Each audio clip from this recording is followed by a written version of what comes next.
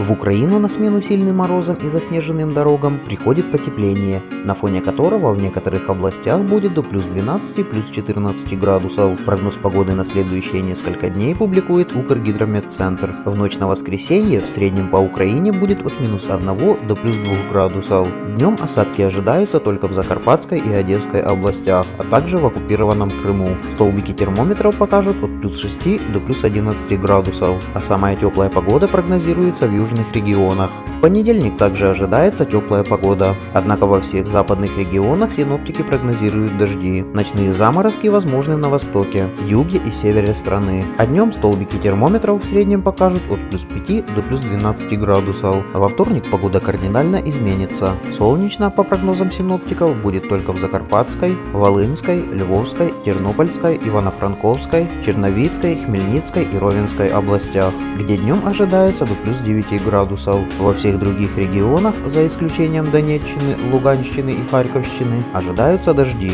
В украинском Крыму, как утверждают синоптики, днем столбики термометров покажут плюс 14 градусов. На среду синоптики прогнозируют похолодание и осадки в виде снега в ряде западных областей. Дожди ожидаются на востоке, а средняя температура воздуха днем в Украине будет от плюс 2 до плюс 10 градусов. В четверг снежная погода перейдет с запада на север и центр страны. Осадки в виде мокрого снега синоптики прогнозируют в Винницкой, Хмельницкой, Житомирской, Киевской, Черниговской, Черкасской и Сумской областях. В остальных регионах, за исключением оккупированного Крыма, будет солнечно, а днем столбики термометров поднимутся до отметки плюс 4, плюс 8 градусов. Подписывайтесь на наш канал, чтобы быть в курсе последних актуальных событий. Ставьте колокольчик, чтобы первыми узнавать точный прогноз погоды.